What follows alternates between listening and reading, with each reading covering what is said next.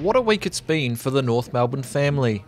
Past legends of the club reunited, while some famous names and potential stars of the future were on show. River Stevens, Jackson Archer, Byron Pickett Jr., Cooper Harvey, Ryder Makepeace, Lucas McCartney.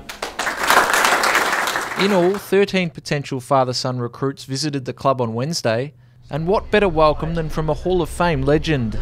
Now, if we go into that room there, this is where all decisions get made. So walk in that. So this is where Brad Scott, Jeff Walsh, all assistant coaches, and actually sit around here. So this is the main headquarters where the Football's Brain Trust actually makes some really big decisions. The boys were taken through their paces on the hallowed turf at Arden Street, even training at the same time as the AFL squad. It's just good to get them involved. I think it's a really good concept, having this father-son initiative.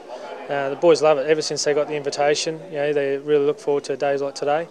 And um, you know, seeing them put on the blue and white jumper is pretty special as well. Makepeace, who played 139 games in the early to mid 2000s, has three sons in the academy. I'm you know, a couple of hours out of town, so um, to come down and, and see you know, Arch and Stevo, um, you know, Choppy's here now as well, which is fantastic.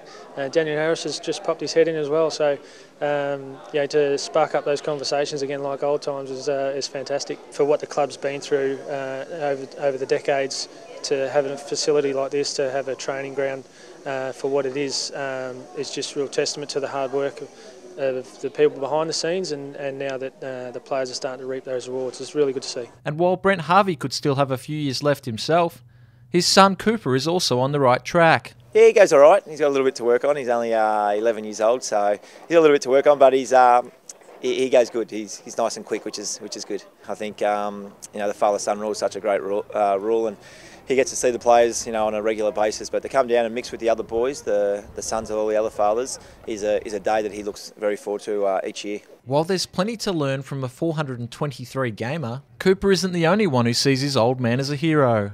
Harvey was again king of the kids, as hundreds turned out to the annual Harvey's Heroes Clinic. Does anyone know my name? Scott Thompson! Arden Street, a sea of royal blue and white, for one of the biggest days on the North calendar. 800 kids probably turn up. I think that was the number last year, and uh, it's good. The day's um, obviously named after me, number one, but it's our biggest clinic for, of the football year, and uh, it's great to see the smiles on the on the kids' faces. One, two, three. Go! Rob Burton for nmfc.com.au.